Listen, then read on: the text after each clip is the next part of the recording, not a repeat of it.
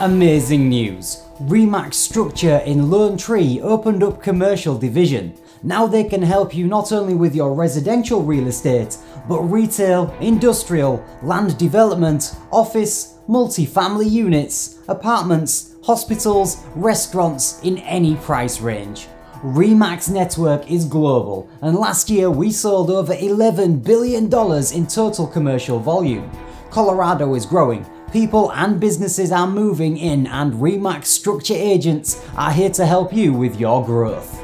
Let me introduce you to the employing broker slash owner Lana and director of the commercial division at RE/MAX Structure. Lane Douglas, they'll help you with any of your real estate needs in any price range.